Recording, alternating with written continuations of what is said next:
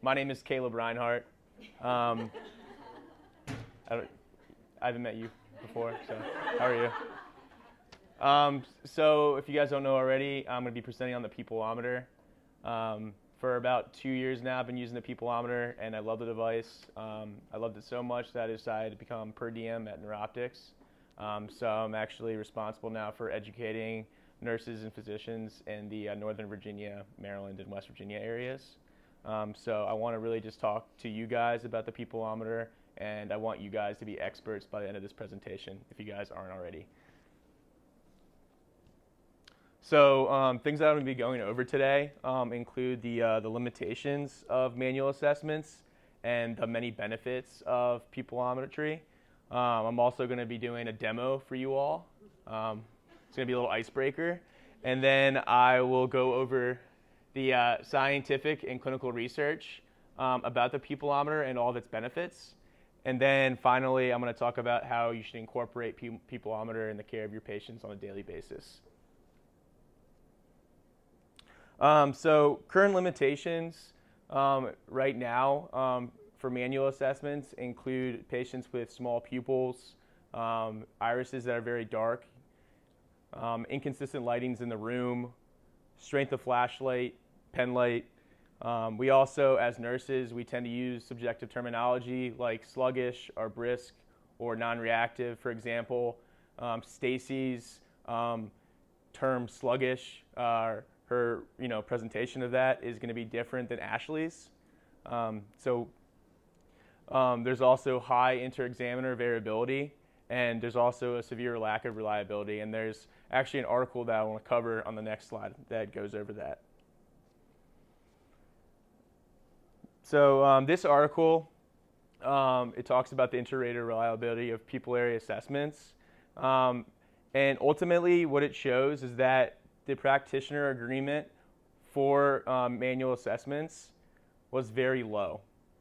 Um, also, one thing that I really wanted to go over was that out of 189 observations of a fixed pupil, only less than 50% were scored as fixed by both practitioners and only 33.3% were in fact um, fixed by the pupillometer, which is the more accurate and reliable assessment. So what is this telling us? It's, it's, it's, it's telling us that as, as nurses, we tend to overestimate non-reactive pupils by manual examinations. And with uh, the pupillometer, um, I know for you know several of us, we, we look at a pupil and sometimes we say, oh, look, it's non-reactive with the flashlight. We go ahead, use the pupillometer, and in fact, the pupils are sluggish, 2.2, 2.4, and this really changes our course of action and um, changes our course of intervention for that patient. And um, this is kind of like our pledge at NeurOptics. So uh, the, uh, the pupillometer here, it provides accurate, reliable, and objective and pupil size reactivity data independent of examiner. Independent of examiner. That means anyone who's using the instrument is going to get the same results every time. Um, pupil size and reactivity are also expressed numerically and graphically. So for the first time, we can trend these pupil changes over time. Um, so I'm actually going to do a demo in just a little bit, uh, but this is just an intro to what the pupillometer is. Um, most of you guys know most of the information, but one thing's, um, some things I actually want to highlight is that when you're actually doing a exam on a patient, you're taking 90 images of the pupil light, uh, light reflex over three seconds. So that's why it's important when you have the pupillometer on the patient to keep it there for three seconds, okay? If you move it away too soon, you won't get results. So that's why, you know, sometimes you get that red data. It's because you're moving away the pupillometer too soon. All right?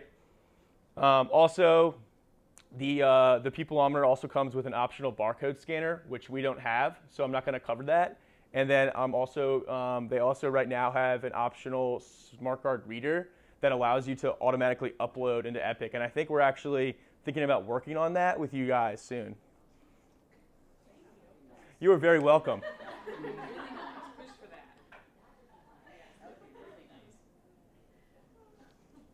All right, so um, now I'm going to do a, a quick demo.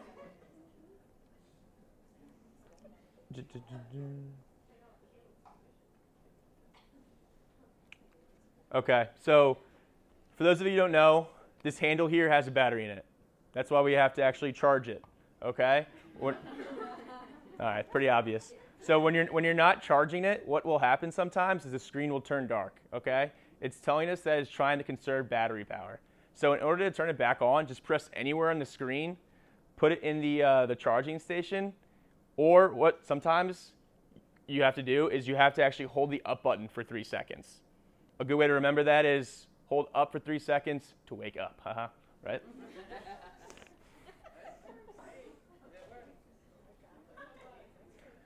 So now I'm going to go over the smart guard, okay? Do you guys know what's called a smart guard? All right. Well, so it's a plastic piece that actually fits over the camera. It allows for a consistent exam every single time. Okay? It also has this memory chip inside, and it actually allows you to store 168 paired pupil assessments or hourly assessments for a whole week. So essentially, if you want to do um, hourly assessments on your patient, you can do that for a whole week with the, uh, this smart card reader.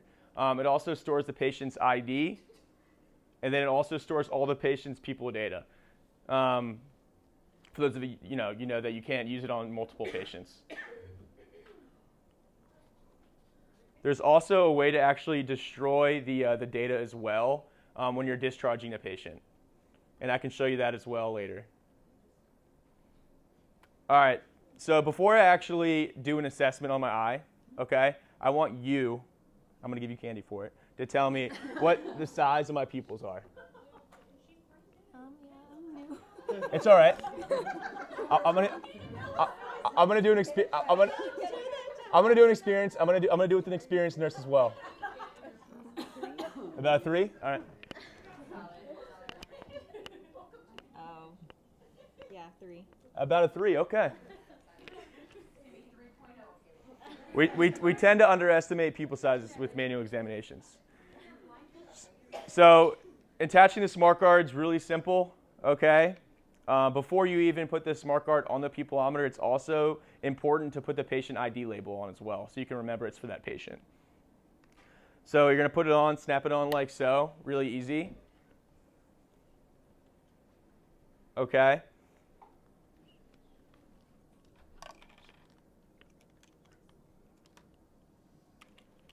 You should hear a click that tells you that smart guard's on. Okay, now you can enter the ID in. We don't have the barcode scanner, so you're going to scroll over to manual ID. It's important to put the patient's actual MRN in. What's that? What, the barcode scanner? I can't do it physically, but um, I can talk to the, the, men, the people in charge and try to expedite that process for everyone. Yeah. So, for example, if you're putting the patient's MRN as 1212, easy as that. Hit accept. Now you're ready to scan that patient. Also, I don't know if you guys know, it's also touchscreen. When, did you guys all know that? So as you guys can see here, um, it's going to show the ID on the top of the screen, and it's also going to show you the amount of assessments you've done, done out of 168. So since I just put this on, it's going to say 0 out of 168. So now you're actually ready to scan the patient now. Um, before I go over the results, I'm going to do a scan on me. So when you're actually scanning yourself, it's very important to make sure this is on the top of the cheekbone. Also make sure you're not tilting the device whatsoever. Also with patients who have fractures in their face, you can also do it on their forehead. Um, just make sure that you're pressing the right button. These are like shutter buttons on the camera. Hit the right for the right eye, hit the left for the left eye. Okay? So I'm to do a scan on myself. Super fun, right? I've done it a million times now. Okay? Once you see once you see that green circle, you're going to release the button and keep the pupillometer there for 3 seconds. It's taking 90 pictures of light reflex, remember. Did results come up? Yep. All right. blinding yourself. Keep blinding me with science.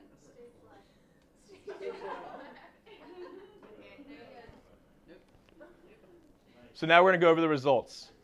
Okay, as you can see on the left screen, it's going to initially show you one of two. Okay? So there's three columns and two rows. The green data is always the right eye. The yellow is always the left eye, and then that third column shows you the difference in pupil size and then also reactivity. So I'm going to first go over size.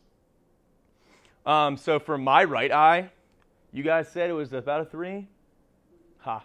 It was actually a seven on the right and left eye. My eyes are consistently sevens. I know it's weird. Christine, Christine always notices it when I come in. She's like, "Why are your pupils so big?" uh, so, so, yeah, we do underestimate. So don't feel bad. She also thought it was a three, and she's been a nurse for how many years now? Ever. For a long time. No, I'm not. I'm not dissing you or anything. I'm just saying that, you know, it's a compliment. Yes, it's a it's a compliment. So as you can see here, the size is actually slightly different in 3.09 and 3.63. In order for a patient's pupil to be truly anisocoric, it has to be greater than one millimeter. Okay? Does that make sense for everyone? All right, and now I'm going to go over, um, this is a middle row um, here as well, and this is the results page two of two. So sometimes, some of our pupillometers are set to results page two of two, and it'll show you all these other parameters like um, constriction velocity, all of these variables just go into equating NPI. So we really only want to focus on NPI and size for our assessments, okay? These top two rows. And this guy here, um, after you do an assessment, um, you can also play this play button, and it, also, it shows you um, from baseline to constriction to redilation, the light reflex, okay?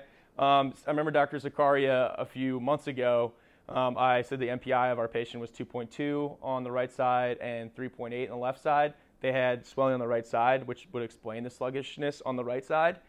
She asked to actually look at the, the light reflex in the video because she, she thought that that right eye was, was non-reactive. So I showed it to her and she said, oh, well, sluggish. So something to remember. So actually, wait, oops. I wanted to.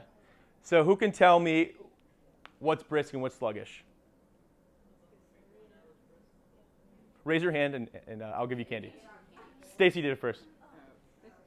Okay, if it's three or if it's less than three, it is considered sluggish. Mm-hmm. If it's greater than three, it is considered reactive. Mm-hmm. Three or above reactive. above yep. reactive. Z not. Yep. Very good. What would you like? Milky Way. Toss anything, doesn't matter. Okay. Just toss. There you go. So yes, that is correct. So NPI, it's the the measure of reactivity. So you're not guessing at how sluggish or brisk a pupil is anymore. And it's also measured on a scale of 0 to 4.9. So as you go up in the scale, your pupils are becoming more brisk. As you're going down in the scale, your pupils are becoming more sluggish. And then if it's 0, your pupils are non-reactive. Okay, so right here, my NPIs on my right is a 3.7 and the left is a 3.8. Okay, so my pupils are brisk. Um, one thing, or a couple things I want to emphasize to you guys, if there's also a difference in MPI greater than 0.7, it can tell you that something's happening focally on one side of the brain. Okay, so say you have someone who has um, a pupil on the NPI was right is like a 3.1 and the left is a 4.2, it can tell you that something's happening on that one side of the brain where the pupil is more sluggish. Okay? Also, it's very important to trend the NPIs over time for patients. So say, for example, if you have an NPI of 4.1 one hour, the next hour is 3.1. Yes, in fact, that's still brisk, but that's a huge drop in NPI, and it's something that you would tell a provider. Um, this is also a way to just review the data um, graphically. And then also, if you want to go back to the home screen, you just hit the right or left button. This folder here allows you to look at every um, patient data that you've used the uh, on. Okay, in this settings and tools, you can change the date, you can change the time, and you can also do something that's called, you disable the smart card. I'm not sure if you guys know what this feature is. So you can actually disable a smart card for HIPAA um, reasons. So you can't actually store any other um, data into this MPI and you can't use that smart card on anybody else. Okay? So the demo's over, sorry. So now I'm actually uh, going to go over the instances when the pupillometer would come in handy. So every patient that's admitted to a high acuity area has the potential for neurological deterioration related to primary medical diagnoses, for example, stroke, our TBIs, our subarachnoid hemorrhages, subdural hematoma. You guys, you guys know it. Um, Also, it's important to use in patients that have secondary effects from their primary diagnoses. For example, after cardiac arrest. Um, I found the statistic really, really um, staggering, actually, that after CPR, only 10% of people actually survive, and only 8% actually have a good neurological outcome. In terms of hepatic encephalopathy, it's when um, you have liver breakdown and it creates toxins that builds up in your brain, and this actually creates edema in your brain. So another important thing to use the pupillometer on. Also, um, effects of therapeutic uh, measures are also some things that can cause neurological deterioration. For example, with sedation and mechanical ventilation, I'll go over that later. Um, and then also ECMO. So ECMO is very important in supporting a patient if they have refractory pulmonary or cardiac failure. And while it's very important, 43% of ECMO deaths are actually related to intracranial hemorrhage. And then targeted temperature management, important in a lot of our patients on our unit and also patients that are post cardiac arrest. However, this can also lead to neurological problems as well. So this is just a, a protocol that St. Joseph Health developed, and it kind of just goes over other indications where it would, it would be essential to use a pupillometer. Um, in cases like DVT, um, substance abuse, withdrawal, di- uh, diabetic, uh, diabetic, diabetic uh, ketoacidosis. So now I want to go over some of the scientific and clinical research. There's a lot right now um, that's out about the benefits of the pupillometer on several different patient populations. I don't know why I'm still holding the pupillometer. So this one I really, really enjoyed. Um, it's called Saved by the Pupillometer. It's actually a case study of a 70 year old man who was transported to the ED. Um, you see these patients all the time. Uh, the GCS of the patient was five. He had a 17 millimeter midline shift. He was then transferred to OR for a craniotomy and evacuation.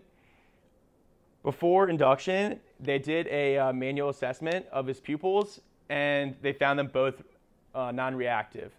So they uh, diagnosed him with uncal herniation and brainstem compromise. So then he was transferred to the neuro ICU for brain testing. So he went up to the neuro ICU. The nurses up there used the pupillometer. His right NPI was in fact 2.6, and his left was um, 3.8. So they led him back to the craniotomy, and it led to his eventual recovery, and he went to rehab. So it just shows you that this really can save patients' lives. And I've had patients before that have come up from OR. Um, the OR nurse will tell me that, you know, I remember I had a hemicranie patient because um, of uh, they had really bad ICH, and the pupil on the left side was brisk, and they told me that the right was non-reactive. They came up to the, the unit, the left was still brisk, the right, where the injury was, the, uh, the pupil was in fact non-reactive, or sorry, was, was sluggish. So we ended up giving the patient mannitol, and within 20 to 30 minutes, the patient's pupil was brisk again. And I remember that patient, he was there for a long time. He was actually in 14 but he, he eventually uh, recovered. So th- this, um, this, this article just talks about the correlation of NPI and ICP. It showed a negative correlation between NPI and ICP. So for example, when the NPI decreases, the ICPs were increasing in these patients that they studied. In fact, in the abnormal NPI group, the patients that had less than three, their average ICP peak was actually 30.5. And in the patients that had non-reactive NPIs, so zero, the average ICP peak was 33.8. Um, another staggering, staggering statistic. So in these patients with abnormal pupil reactivity, it actually occurred on average 16 hours before peaks in ICP. So before the patient exper- started experiencing increased ICPs, increased swelling, increased pain, the NPIs were sluggish. So it leads to early action with these, the pupillometer. So I thought this was also um, very pertinent to, to our uh, unit because we use osmotic therapy on our patients. So it, it, it, goes over patients that received hypertonic saline and then also mannitol. Um, and the most common indications were patients with ICH, TBI, and stroke. Um, they did a, uh, a CT scan uh, within two hours of osmotic therapy, and it showed that there was significant improvements within two hours of administration of osmotic therapy. Sorry, I, I get that all mixed up. So they did after the uh, the initial pers- the uh, the initial stroke or initial ICH. They would they would actually do a um, scan six hours after it occurred, and then based on what the the CT showed, they would give the patient mannitol or 23%. Within two hours of that being received, the NPIs actually improved. Um, this was also significant and independent of other interventions, including CSF diversion, blood pressure management, sedation, pain management, etc. This is kind of a, a transition from, from Sam's, Sam's PowerPoint. So it talks about the detection of delayed cerebral ischemia using objective pupillometry in patients with subarachnoid hemorrhage. And in this study, they studied 56 patients that were receiving hourly NPI pupillometer exams, and then also they were receiving transcranial Dopplers. Out of, that, uh, out of the 56 patients that had subarachnoid hemorrhage, 12 of them experienced delayed cerebral ischemia.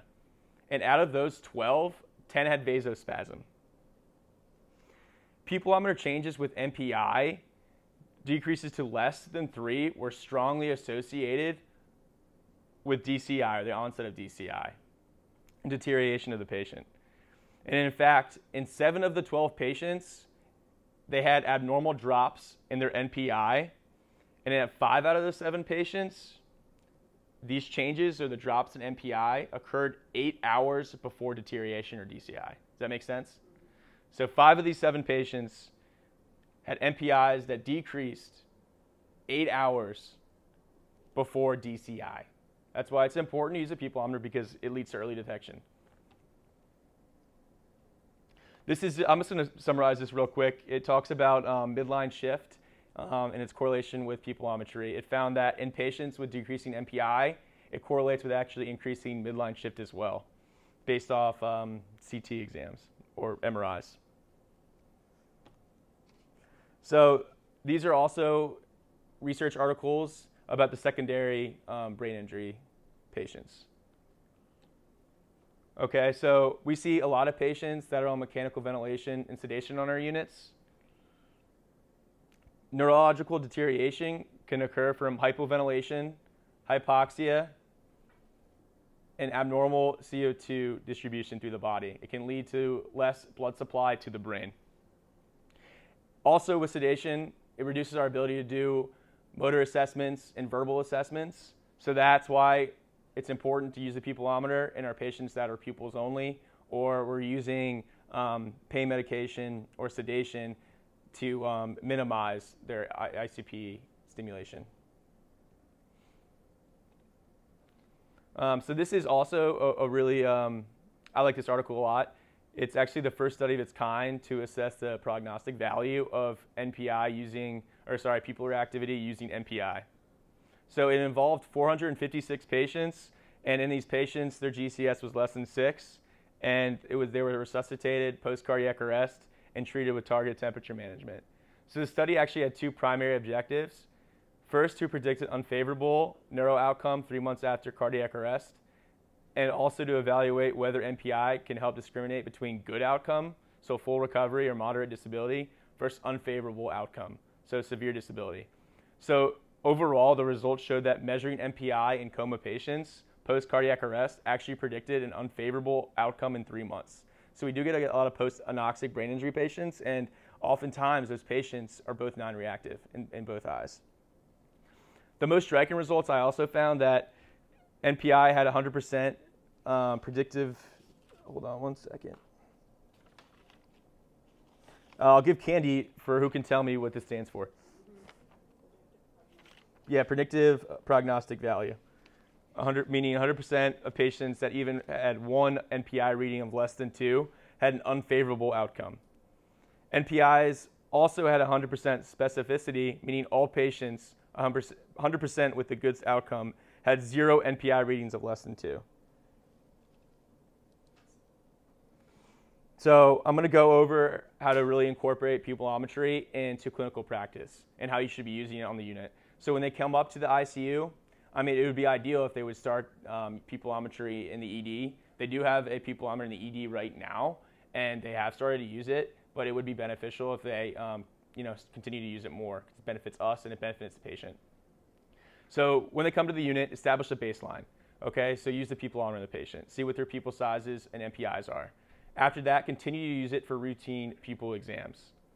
And then after that, it should be used in any patient, or just in general, it should be used in any patient that has clinical that has potential for clinical deterioration. So any patient in the ICU has potential for clinical deterioration, not just our sedated or ventilated patients. Um, this just goes over um, what hospitals right now in the U.S. are using pupillometry. Um, as you can see here, a lot of the uh, top 50 hospitals are using pupillometry.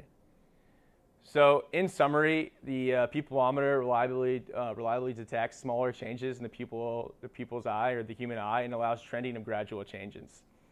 MPI also allows you to quantify reactivity so you're not guessing at how sluggish, um, brisk, or non-reactive a pupil is. Okay?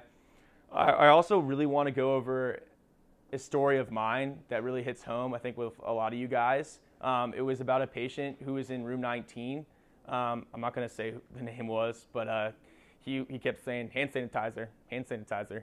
Um, so yeah, um, I love that guy. But anyway, um, uh, he he had a uh, I believe it was a GBM, and they were only able to remove part of the uh, GBM. So after surgery, when he came up, I remember he had a lot of pain. Um, he was you know going in and out of consciousness. Um, I had him the second day he was on the unit. The first day they used the pupillometer on him, NPIs were 4.1 on the, le- on the right and then 4.2 on the left. That pupil on his right side when I came in that morning, um, he was having trouble opening his eye. It just looked very dilated. Um, according to uh, the nurses and physicians, the, the pupil was sluggish over the last day. But when I checked the NPI of his right side, the NPI on that right side was actually 2.2, and the left was 4.2. So I called, I called Dr. Zakaria. I told her what my findings were, and she asked me, "Oh, what was his NPI previously?" And the NPI previously was two days before. His NPI was ac- actually 4.2. So Dr. Zakaria decided to go ahead and give the patient 23% it was hilarious because the guy was like pretty intact too. He was just drinking a Powerade, but he was like in a lot of pain and he couldn't open his eyes. So then we, we gave him the uh, the 23%, and literally 30 minutes, he was happy again. He, he wasn't as aphasic. He wasn't just saying hand sanitizer, um, and he uh, wasn't in, it wasn't in pain. Um, but over the course of the day, every four or five hours, he would have this similar trend.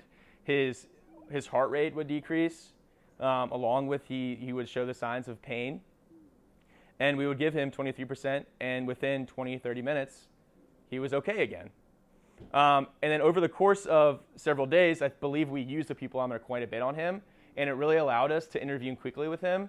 And eventually, what we did is we, we, we, gave, the, we gave him a shunt, and he eventually recovered. But I feel like if we didn't ever use the pupillometer that day, he, he could have he could have potentially herniated, and he, he wouldn't have had a good outcome. And I really loved him and, and his family. So that's why that really hits home with me, and I'm sure it hits home with you guys. And I, I know the pupillometer is, is, something that's really helped you guys in your care of your patients, and that's why I just want to make sure that you guys are mo- using it in the most effective way for your patients.